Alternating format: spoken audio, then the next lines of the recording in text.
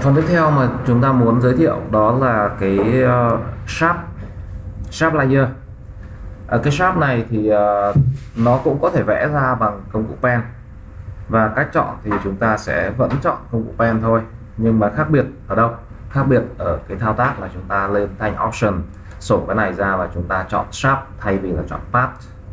Ok bây giờ chúng ta sẽ vẽ thử một cái gì đó. Ví dụ bây giờ tôi uh, vẽ lại cái path mà bám theo cái à, cái cái sharp bám theo hình con vịt nhé tôi sẽ tạo ra một cái um, sharp này. Các bạn quan sát. Bấm này điều đầu tiên.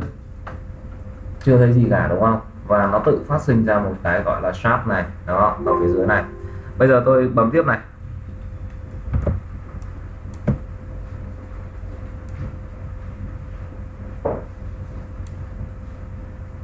Tiếp này.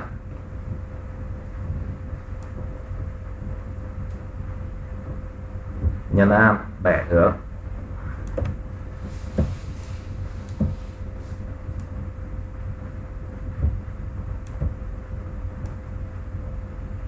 Cách vẽ thì các bạn thấy đấy, nó cũng vẫn thế thôi.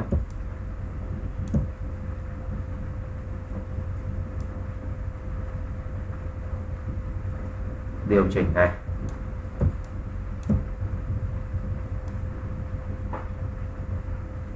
Giữ am đảo hướng.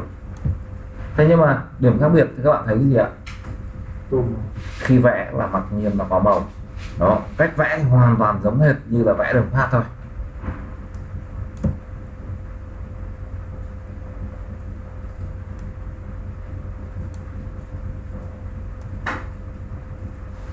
Điểm khác duy nhất mà chúng ta nhận thấy là cứ vẽ lên đâu là nó xuất hiện màu lên đó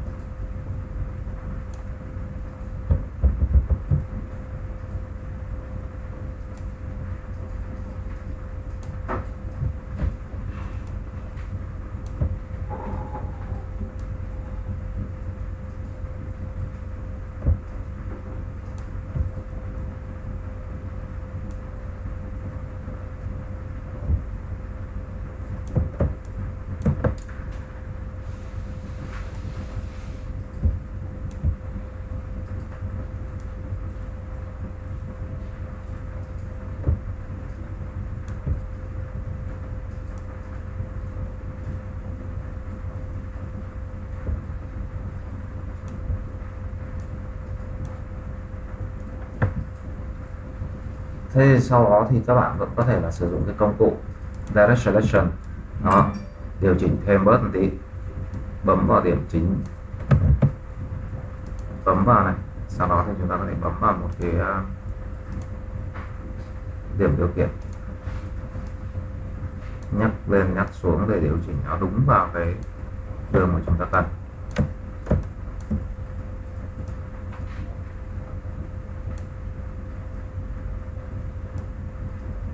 ra một tí vô một tí. Đây, kết quả. Nó cũng bám sát theo cái hình của chúng ta cả. thế thì bây giờ nó khác ở cái gì? Khác hai vấn đề. Chúng ta sẽ thấy rất rõ. Khác đầu tiên về mặt thị giác là chúng ta sẽ nhìn thấy ngay là vẽ đến đâu là nó sẽ xuất hiện màu lên đó. Và điểm khác thứ hai, bây giờ chúng ta quay trở lại cửa sổ layer nhé, để chúng ta phân tích xem là nó tạo ra cái gì. Khi mà tôi vẽ các đường path thì các bạn sẽ thấy rằng là ở trong layer này vẫn chỉ có duy nhất cái lớp background này thôi không xuất hiện thêm layer nào cả. Thế nhưng mà khi mà tôi sử dụng cái chế độ là chế độ ờ, uh, sharp thay vì là path thì tôi vẽ xong một cái mới thì nó sẽ xuất hiện thêm một layer. Tự động xuất hiện luôn và tự động đặt tên là sharp 1, sharp 2 theo cái thứ tự mà tôi vẽ. Thế thì cái này nó gọi là một sharp layer. Đấy, và nó mỗi một cái mà chúng ta tạo mới thì nó sẽ tự động tạo ra thành một layer mới ở trong cửa sổ layer này. À, trước khi mà phân tích sâu thì chúng ta sẽ nói về cái sharp này bản chất nó là cái gì? Về mặt nguyên tắc thì các bạn cứ hình dung là um, cái sharp layer này nó là một cái layer mới mà nó đã được tô màu sẵn màu là màu gì? Màu là màu tiền cảnh. Ở ô này foreground này. Màu foreground chúng ta vẽ bằng màu gì? Chọn màu gì? Thì cái sharp layer nó sẽ tự động tô sẵn màu đó. Đây bây giờ tôi ờ, chọn một màu mới nhá. Ví dụ cái màu xanh này chẳng hạn. Sau đó bây giờ tôi lại tạo một cái ờ, tôi tạo một cái sharp mới nhé à, ờ, bây giờ chúng ta sẽ xem xem là nó tạo phát mới hay là cái nào. Ok new layer được rồi. Bây giờ tôi vẽ thử một cái khác đó. Ok vậy các bạn nhìn thấy là nó sẽ nó sẽ lấy theo cái um, cái hình hài vừa rồi. Nó sẽ tô điền sẵn màu vào đây. Và nó tạo ra một cái sharp 2 Đấy, và màu thì bây giờ nó lấy theo cái uh, màu mặc định gốc cái cái cái cái cái màu uh, foreground cũ mà vừa nãy mà chúng ta chọn và màu đỏ. Thì là nó cũng đã để ở đây. Muốn thay màu thì bấm vào đây. Chọn màu khác. Đó, thì nó chuyển sang màu khác cho tôi. Hoặc là các bạn cũng có thể là bấm vào đây. Đấy, thì nó sẽ mở ra một cái bảng màu để cho tôi có thể chọn một màu mới. Cập nhật theo kiểu real time ngay. Chọn một màu nào nó cho xem luôn ở đây. Ưng thì nhấp ok. Thế đến đây thì chúng ta sẽ phân tích kỹ hơn một tí về cái sharp này um, cái sharp thì bản chất thì chúng ta có hình dung là nó giống như là một cái layer đã tô sẵn màu rồi ấy. thế còn cái path này vẽ ra để làm gì? Cái path này vẽ ra để giới hạn là cái chỗ màu cái cái cái cái, cái màu nó được hiển thị ở trong diện tích nào vị trí nào. À, lấy một cái hình ảnh cái này cho nó dễ hình dung nhé là cái, cái cái màu được tô sẵn kín hết cả và sau đó thì chúng ta giống như là chúng ta đặt một cái tờ giấy chúng ta che đằng trước ấy, thì sẽ không nhìn thấy màu đằng sau nữa. Nhưng mà cái path nó sẽ giống như cái việc là chúng ta khoét một cái lỗ ở vị trí nào to bao nhiêu và có hình gì thì chúng ta sẽ nhìn thấy màu đằng sau giống như thế. Để chứng minh rằng là cái layer này nó được tô sẵn màu rồi thì chúng ta sẽ thử nghiệm như sau. Chúng ta chọn công cụ uh, direct selection. Đó bấm vào đây. Thì các bạn sẽ nhìn thấy là cái um, cái này được chọn nhá. Đây bây giờ bấm vào đây. Và tôi chọn lấy một điểm điều khiển trong số các điểm điều khiển này. Bây giờ tôi kéo ra này. Các bạn quan sát thử này. Kéo ra này. Tôi kéo ra tôi thay đổi cái diện tích của cái của cái shop này. Thì tôi kéo ra đâu? Màu xuất hiện này đến đấy. Đó là tôi kéo nữa ra này. Kéo nữa ra này.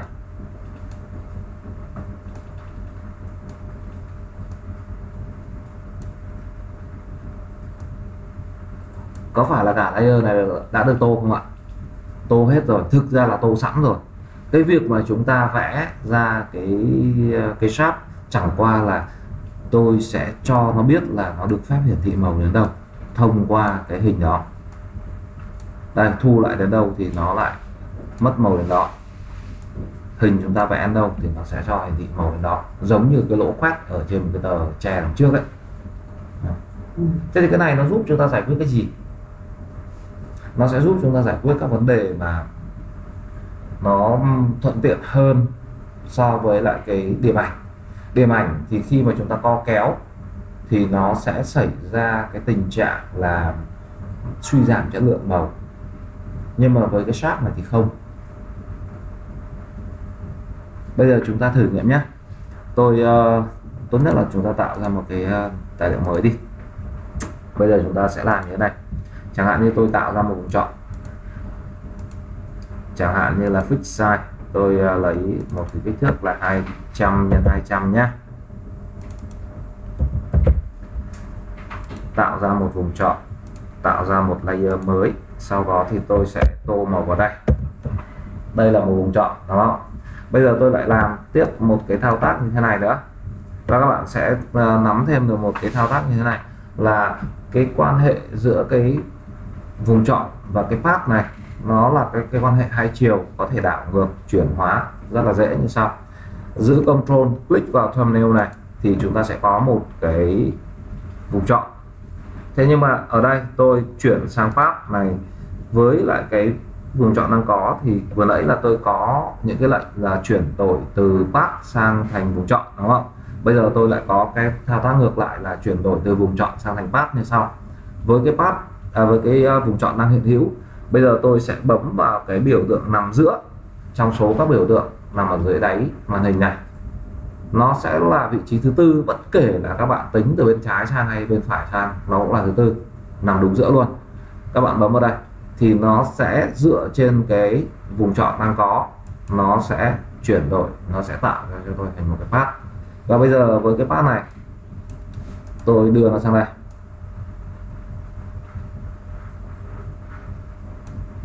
Uh,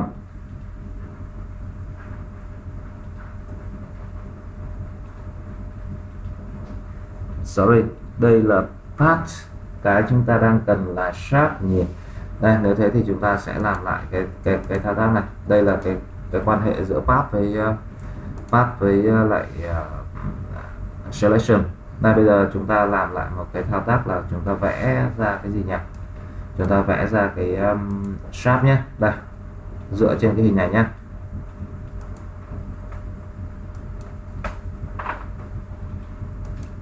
vẽ đúng như cái hình. Để xem về mặt về kích thước là giống nhau. Đây, màu à, tôi cũng có thể là lấy cái, một cái màu như thế này. Xong, ok, bây giờ chúng ta sẽ dịch nó ra nhé. Các bạn sẽ thấy là bây giờ hai cái thằng này, về mặt kích thước là giống nhau, đúng không ạ? Về mặt màu sắc là giống nhau bây giờ chúng ta sẽ làm một cái thao tác kiểm tra bằng cách tôi vào layer này. Và tôi sẽ um, tôi sẽ xử lý như sau. Đây là layer với điểm ảnh. Đây là sharp layer. Bây giờ tôi chọn cả hai.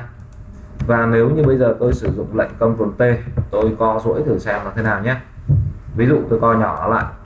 Ok, enter. Đến đây có vấn đề gì không?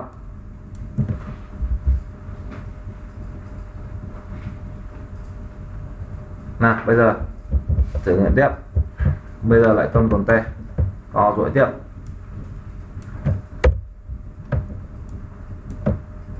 Các bạn sẽ thấy rằng là uh, về mặt chất lượng thằng bên trái khi mà chúng ta co duỗi thằng bên trái nó chính là điểm ảnh.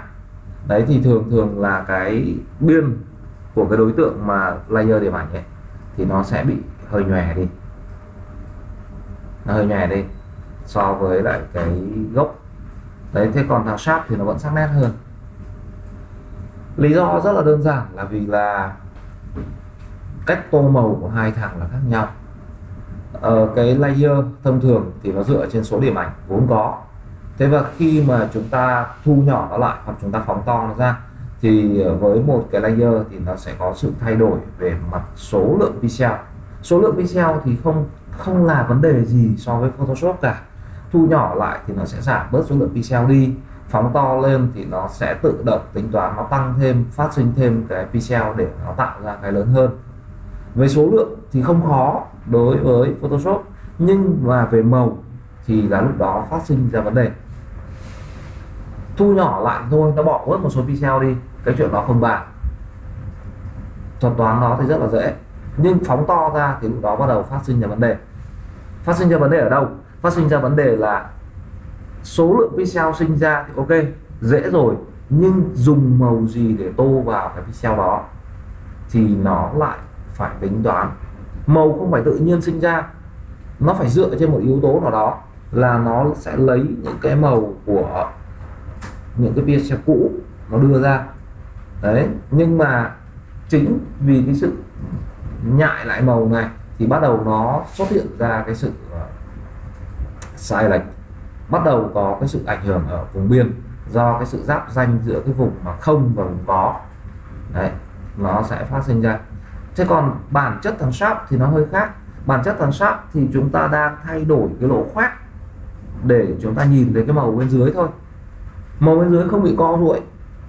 Tại vì về mặt nguyên tắc cả cái layer nó đã nó đã được tô màu sẵn rồi chỉ có điều là chúng ta khoét cái lỗ to hay nhỏ hình hài gì để chúng ta nhìn thấy màu đằng sau thôi.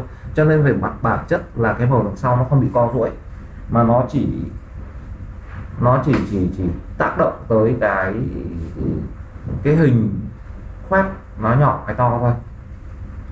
Và cái điểm nữa mà chúng ta thấy rằng là nó cũng ờ, nó cũng tương đối tiện là cái chỗ như thế này. Ví dụ như là chúng ta có thể nới đó với cái sáp này, tôi có thể nới.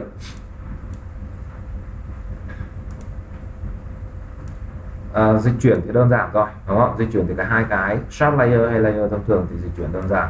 Thế còn với cái này thì chúng ta sẽ thấy rằng là tôi nới kích thước nới đến đâu thì màu dán đó.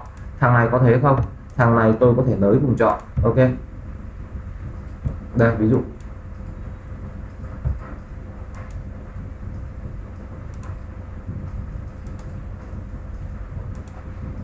Nới vùng chọn màu không phát sinh ra theo đó.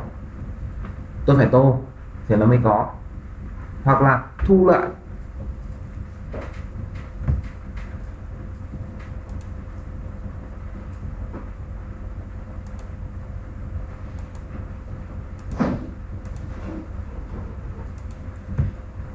À xin lỗi.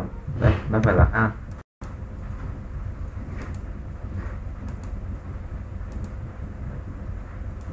thu vùng chọn màu không mất đi nhưng mà thằng này thu vào thì màu mất đi.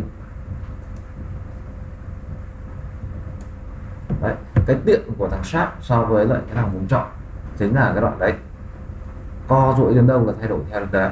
Thế còn với cái uh, với cái layer ấy thì chúng ta có thể hiệu chỉnh những hiệu chỉnh xong chúng ta vẫn phải làm thêm một vài thao tác thì nó mới mở rộng thêm vùng màu hoặc là cắt bớt đi được. Đấy mở rộng vùng chọn ra thì phải tô thêm vào thế còn là thu hẹp vùng chọn thì chúng ta phải uh, còn à, invert đảo ngược rồi chúng ta xóa cái vùng bên ngoài đi thì nó mới mất đi. Thì cái thằng sharp này thì nó sẽ tiện lợi hơn cái chỗ là chỉnh đến đâu là thu bớt hoặc là thêm vào bấy nhiêu mà nhìn thấy ngay không cần phải làm thêm các thao tác.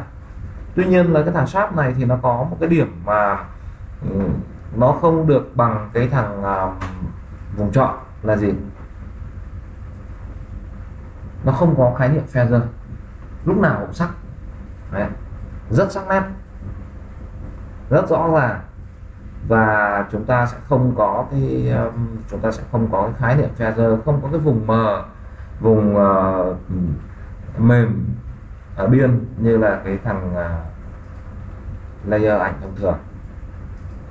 Đây ví dụ như là cái thằng này tôi có thể là làm gì nhỉ? Tạo vùng chọn này đó bây giờ tôi vào select này vào uh, modify và feather tôi gán cho nó độ khoảng 10 chẳng hạn bây giờ tôi đảo ngược vùng chọn lại tôi xóa xóa xóa cái thì tôi có thể tạo ra cái vùng biên như thế này. Thằng này thì không giải quyết được như thế nó không có khái niệm feather.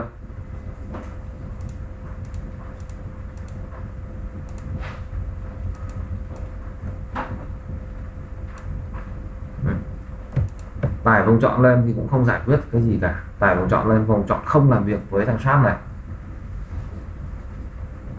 Đây, gán này. Select này. Modify này. Feather tôi cũng vẫn làm y xì như thế. Cũng đảo ngược vùng chọn. Đấy. Và bây giờ, ví dụ như là nhấn delete, xóa đi. Đấy, could not complete you request because content a player is not directly editable không không không không cho phép là uh, hiệu chỉnh theo cái kiểu đó. Mặc dù khái niệm vùng chọn với cái vùng chọn mà chúng ta vừa tải lên thì vẫn làm được đấy. Vẫn làm được với lại cái layer thông thường như sharp thì không. Sharp không làm việc với cái với cái vùng chọn. Và sharp có thể làm việc với lại cái gì? Sharp làm việc với cái hiệu chỉnh về hình dáng thì ok rất là đơn giản rồi. Màu tô tôi cũng tương đối dễ tức là tôi có thể bấm vào đây tôi chuyển một màu bất kỳ. Ok chuyển được màu. À, bây giờ tô chuyển nhé xem nó như thế nào. Đấy, thì uh, có thể cho phép tô chuyển đây. Các bạn có thể bấm vào đây để tôi chuyển. Cũng được. Thế này thì cũng cũng tô chuyển được nhưng mà chúng ta cũng sẽ phải là à, tạo vùng chọn nếu không thì nó tô trờn ra ngoài mất. Sharp thì hầu như là tô ở đâu là nó tô chính ở trong hình luôn rồi. Bản thân cái đó nó đã là vùng chọn rồi vùng giới hạn rồi nó sẽ không bị lan tràn ra ngoài.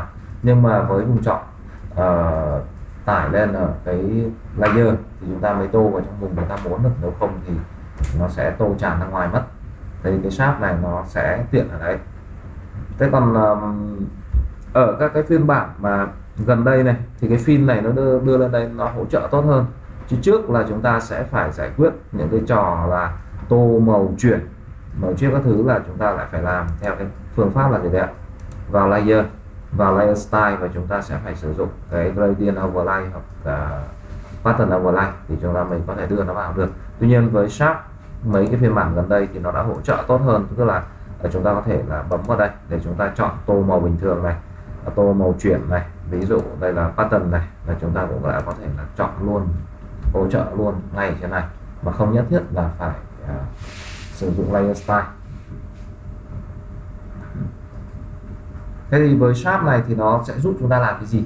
Đấy ở khác biệt thì thấy rồi. Đó là cách vẽ thì giống nhau. Cách hiển thị ở trên layer thì khác nhau. Hiển thị ở trong path thì cũng gần tương tự thôi cũng không khác biệt gì mấy đó, tuy rằng là một thằng nó ghi là Sharp và một thằng ghi là pass. Đấy. Nhưng mà cùng xuất hiện ở trong cửa sổ pass này à, bấm control kích vào đây thì vẫn đều tải ra cái vùng chọn cả. Thế còn là nhiệm vụ của hai thằng thì nó có khác biệt với nhau? Nó khác biệt ở cái chỗ này là sharp thì nó do cái tính chất là dễ vẽ dễ co duỗi cho nên là nó sẽ được sử dụng ở trong những cái trường hợp mà uh, chúng ta không cần cái sự uh, nhòe không cần cái biên mở những cái gì mà nó cần cái sự sắc nét thì chúng ta sẽ sử dụng phát thì tốt hơn nhiều so với lại sử dụng layer ảnh thông thường. Tại vì là nó sẽ ít bị suy giảm chất lượng khi mà chúng ta co kéo. Ở trong cái quá trong cái quá trình thiết kế thì các bạn biết rồi không có ai mà tài năng đến cái mức độ mà phát làm cái gì đó là chuẩn luôn. Đấy mà bao giờ nó cũng có những cái quá trình, gọi là, vẽ hình ra xong rồi là sắp xếp trên dưới trái phải rồi to nhỏ, so sánh cái nọ với cái kia. Và trong quá trình mà sắp xếp để tìm một cái ổn thỏa như thế, thì cái việc mà co duỗi từng chi tiết một để cho nó to lên hay nó bé đi, để tìm một cái tiếng nói chung với những cái đối tượng xung quanh nó, thì đấy là thao tác chúng ta phải làm rất là nhiều. Thế nhưng mà với điểm ảnh ấy, thì khi mà co duỗi thì nó sẽ dẫn tới sự suy giảm chất lượng ở vùng biên của đối tượng do đó thì nếu mà cái nào mà chúng ta càng co duỗi nhiều để tìm cái cái cái, cái tỷ lệ cho nó thì càng về sau nó sẽ càng nó sẽ càng kém sắc nét đi. Thế thì uh, những cái thao tác mà làm với sharp thì nó sẽ giảm thiểu được cái chuyện đó. Đấy. Thế thứ nhất là nó giúp chúng ta ít bị suy giảm chất lượng. Thứ hai là nó sẽ luôn luôn sắc nét thế thì ờ, đất dùng của cái ờ, của cái sáp thường thì người ta sẽ hay sử dụng để người ta vẽ các dạng hình nho nhỏ. Hình nhỏ thì suy giảm chất lượng nó rất là rõ nếu mà chúng ta có duỗi. Đấy thế thì những cái hình nho nhỏ những cái tính chất nó dạng như icon những cái cái cái, cái, cái biểu tượng nho nhỏ ấy, thì người ta hay sử dụng cái đấy. Hoặc là trong cái giao diện nhất là bây giờ chúng ta thấy là ở trong cái ờ, trong cái xu hướng mà thiết kế gần đây tức là nó rất là đơn giản và nó phẳng. Đấy thì cái sharp này là cái công cụ tuyệt vời luôn để giúp chúng ta có thể là vẽ ra các cái icon các nút bấm các biểu tượng các cái đối tượng mà uh, nó có tính chất nho nhỏ phẳng đơn giản. Thì cái sharp này là cái công cụ hữu hiệu tuyệt vời để chúng ta giải quyết cái vấn đề đó. Và nó không nhất thiết là phải vẽ bằng pen. Pen là để tùy chọn tùy biến.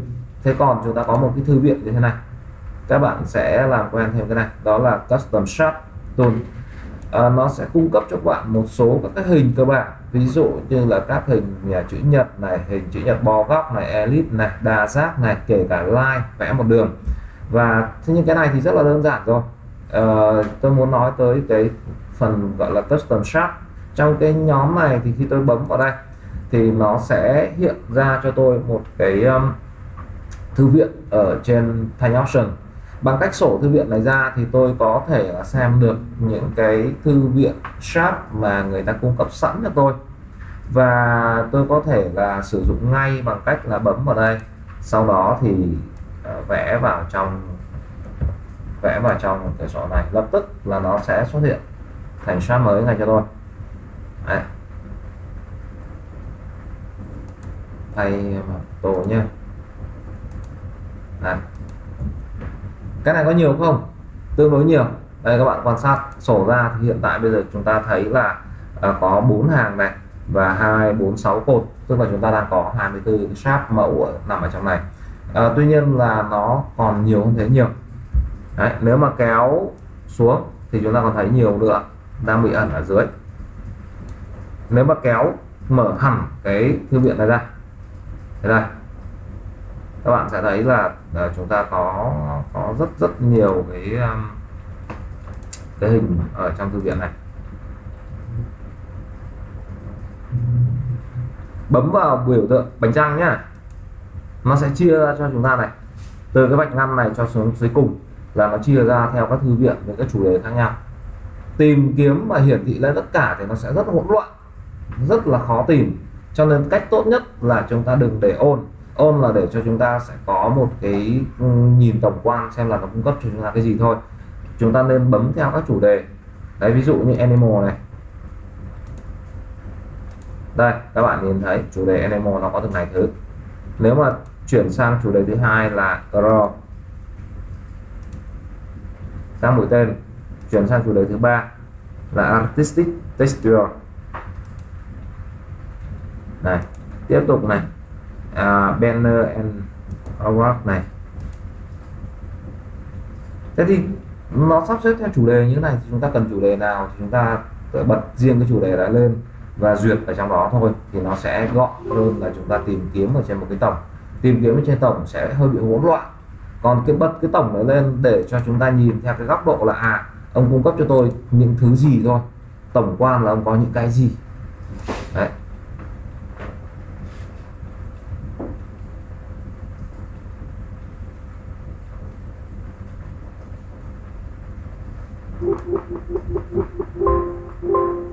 Cái nhìn này thì nó giống như là kiểu uh,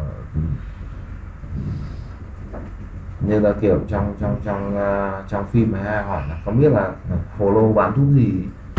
Trong hồ lô chứa thuốc gì? Thì đây chúng ta bật theo cái ôn này lên để chúng ta biết à tất cả là nó cung cấp thế này. Nhưng tìm thì các bạn nên tìm theo chủ đề thì tốt hơn. Nó sẽ dễ đỡ rối mắt. Thế vào đây bất cứ cái nào các bạn chỉ việc bấm vào một cái là các bạn đưa ra đây các bạn. Vẽ là lên ngay thành hình ngay lập tức.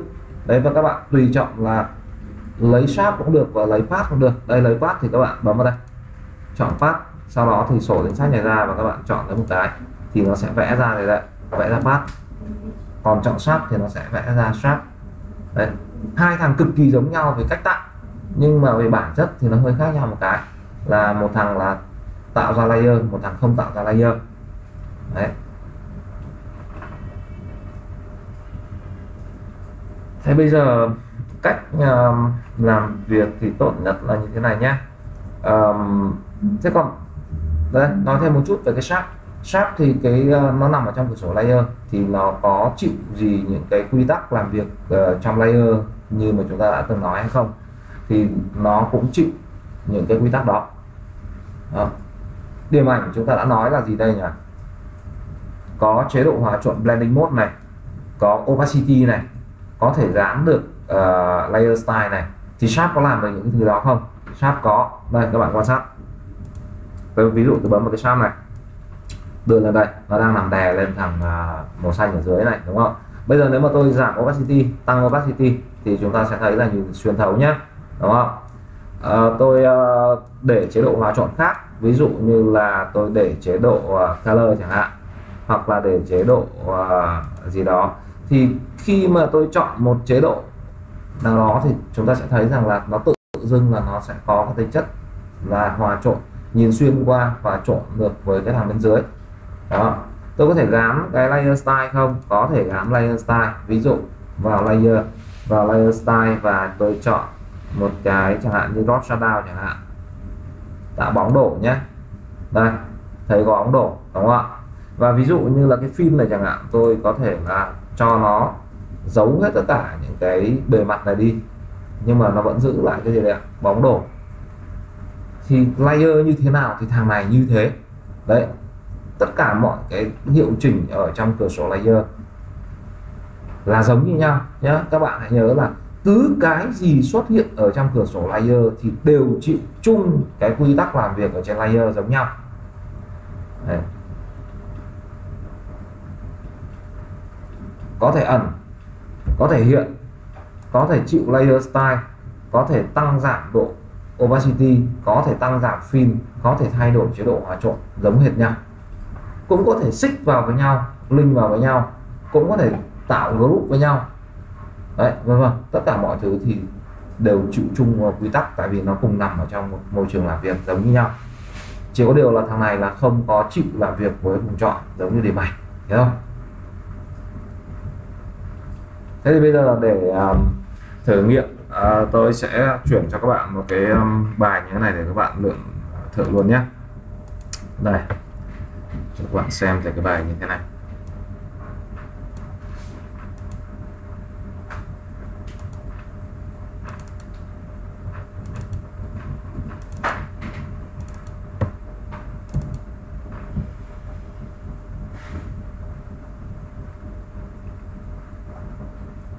sẽ có một cái bài tập cho các bạn rèn luôn về cái ờ, thao tác vẽ path vẽ sharp.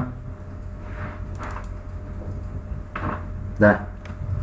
À, các bạn sẽ thấy một cái um, bài như thế này nhé.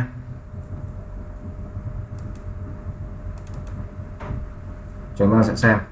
Có một cái bức ảnh. À, bây giờ nó sẽ giúp cho các bạn là cách rèn luyện luôn. Vẽ path hay vẽ sharp. Này ảnh gốc. Một cái phi thuyền như thế này. Bây giờ người ta đã người ta sẽ giúp các bạn là cách lựa là vẽ như thế nào. Thì có một cái tem nó hiện lên ở đây. Các bạn bắt đầu từ điểm A vẽ thông qua các cái đường như thế này để các bạn tập uốn lượn đặt các điểm neo làm sao cuối cùng thì vẽ được uh, bao xung quanh được cái uh, được cái đối tượng và chọn được cái hình như thế này. Bây giờ xem tiếp cái nội dung của cái bài landscape landscape nó cung cấp cho chúng ta một cái ảnh như này thôi. Đấy. thế thì tiếp tục nữa thì làm cái gì? Ends. À, chúng ta sẽ có một cái uh, giống như là một cái cái cái, cái um, phim về phi thuyền đó. Ở đây thì nó sẽ kết hợp mấy thứ này. Thứ nhất là chúng ta sử dụng pen để chúng ta vẽ path bao xung quanh sau đó thì chúng ta tải thành vùng chọn để chúng ta có thể là lấy tách được cái ảnh này ra cái phi thuyền ra khỏi cái nền ảnh. Đấy là một thao tác.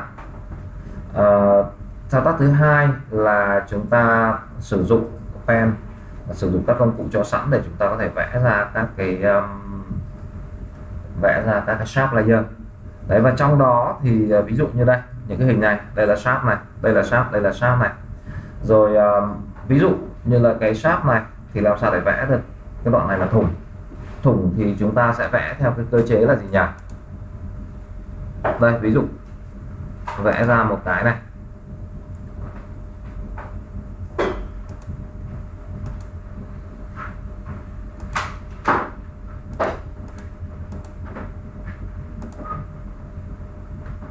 Ok tô một màu gì đó đi. Sau đó mà muốn vẽ thủng nữa thì chúng ta sẽ làm như này đó. Chúng ta chọn subtract. À, à, xin lỗi từ từ. Đây. Sharp này. Đây chọn thêm cái chế độ gọi là à, auto à, s delete này. Đánh dấu vào đây. À, bây giờ tôi uh, chọn thêm cái hình.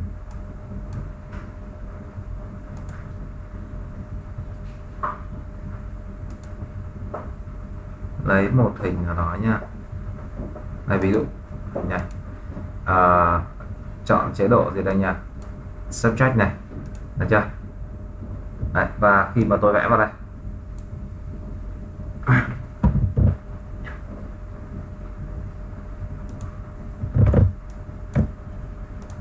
Làm sao để cho nó uh, xóa bỏ cái độc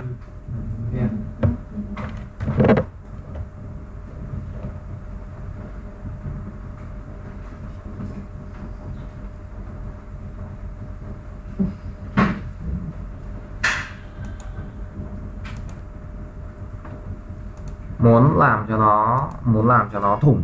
Đó đây xem có đúng thủng không hay là vẽ trắng ra thì bây giờ chúng ta sẽ vẽ thử một hình khác nhé. Ví dụ như là tôi chọn hết uh, tôi tô hết vào trong cái layer phía dưới này. Đây các bạn nhìn thấy. Nền xanh thì chúng ta nhìn xuyên vào thấy nền xanh đúng không đây là cái cách để mà chúng ta có thể là xử lý để có được cái này. À, để mà vẽ cái sharp này thì đây các bạn lưu ý này. À, chọn những cái chế độ khi mà vẽ, các bạn muốn mà vẽ để đục một cái hình khác ra, trong cái sharp vẽ ra, thì vẽ cái hình kia trước, sau đó thì chúng ta chọn hình mới, chúng ta chọn cái chế độ subtract, trừ bớt đi. Để vẽ hình mới sẽ trừ bớt đi, thì vẽ lên đầu là giao vào với hình cũ là nó sẽ đục thủng ra. Thế thì như thế thì bây giờ chúng ta quan sát lại với cái này. Vẽ hình này, đúng không? Sau đó thì với cái chế độ subtract để chúng ta đục thủng ra này đấy rồi uh, ra giảm opacity để cho nó có thể nhìn xuyên qua này. Đấy thì cái bài này thì nó sẽ có liên quan tới path và sharp là tương đối nhiều. Thế còn cái à, chữ zetro này thì cái này là uh, nó được cung cấp thôi. Nó được cung cấp sẵn rồi. Tức là chúng ta sẽ thích thì các bạn có thể uh, tập vẽ cũng được. Tại vì đây là cái chữ rất là đơn giản. Đấy dùng uh, pen các bạn uh, vẽ ra cũng được. Hoặc không thì uh, nó thực ra là nó đã cung cấp sẵn thế còn uh, trong um, trong cái này thì nó có thêm vài cái. Các bạn nhìn thấy đây này. Mặc dù cái ảnh này thì nó đã có một vài bụi bụi cây bụi cỏ lúc sút rồi nhưng mà còn có một vài cái nét phẩy phẩy phẩy ở đây. Các bạn nhìn thấy thì nó là cái gì? Chúng ta có thể tìm uh, những cái dạng đây này. Cỏ đây này. Đây bấm vào đây. Chọn. Và khi mà các bạn vẽ vào thì các bạn sẽ có những cái gì đây có những cái cỏ này rồi nó cũng được cung cấp sẵn ở trong cái um, trong cái à, thư viện hình rồi. Thế thì bây giờ tôi sẽ chuyển cho các bạn những cái bài này nhé tôi chuyển cho các bạn cái bài này để chúng ta coi như là à, có một cái um, thực hành sát luôn với cái yêu cầu bài tập à, liên quan tới phát với sharp này. Thế bây giờ các bạn trong lúc trong lúc đó thì các bạn cứ thực hành thực tập thử một tí với lại cái um, cái công cụ một chút đi. À, chờ tôi tôi uh, post cái uh, cái bài tập lên trên ờ, uh, Facebook của nhóm sau đó thì các bạn có thể lấy về để ờ, xử lý.